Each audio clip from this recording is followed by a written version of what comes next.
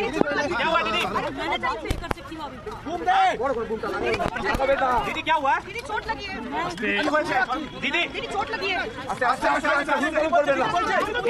दीदी क्या हुआ है मैं नहीं बात कर सकती हूँ एडमिट कर रहा था हाँ। कोई पुलिस नहीं था एक भी पुलिस नहीं था हाँ। हमारा पुलिस छोड़ दो। दीदी दीदी पाए बात लागू चार पाँच आदमी ने मैं गाड़ी का इधर में खड़ा होकर नमस्कार कर रहा था। हाँ। चार पाँच आदमी ने मेरे को गाड़ी पूरा बंद कर दिया। हाँ। और वहाँ हमको पूरा चोट हो गया। देखो कितना फूल कहाँ कहाँ आपको चोट लगी है दीदी? पूरा फूल गया। ओके दीदी क्या कलकत्ता वापस जाएँगे? अभी जा रहे हैं। अभी बहुत दर्द हो रहा है। अभी ज़ोर और ये कहाँ पे हुआ दीदी? एग्जैक्ट जगह कौन सी है? बरोलिया बाज़ार बरोलिया बाज़ार में। और कितने लोग थे? पब्लिक बहुत थे पब्लिक का बात नहीं है चार पाँच जान के किया चार पाँच और कहाँ का चोट लगा? आपको कहाँ का चोट लगा? पैर में? फूल गया पूरा हाँ।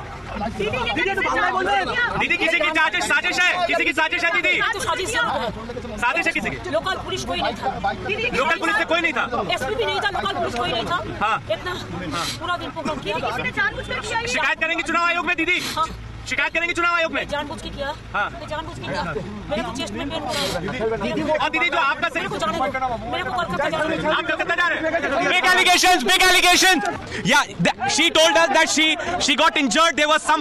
Deliberately tried closing the door of her vehicle there was no police deployed and she going back to Kolkata cut again to her she showing her injuries is showing her injuries Rakesh Chawla is giving the short she is showing her injuries so she has to say that near Baroli or this incident happened there वो public and when she was uh, attending this meeting and she was trying to sit inside the car, somebody tried closing the door deliberately, and she got hurt. So she has suffered injuries, and you can see handkerchief also around her, uh, uh, around her, uh, on her leg, and she's saying that she's leaving for Kolkata. She's not going to stay. She is not going to stay here in Nandigram. She's saying that it could be a conspiracy.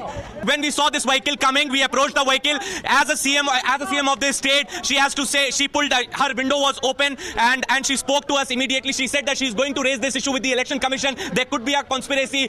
SP was not there. Local police was not there. She's getting out of the car. She's getting out of the car. She's not well. It appears she's not well. She's getting out of the car. The security personnel are bringing her out of the car and she has been shifted to the back seat. Very dramatic visuals. Very dramatic visuals here on ground. Okay, she's being shifted to the back seat of the car by her security personnel. I hope Rakesh Shavla is giving those shots. We are playing it live.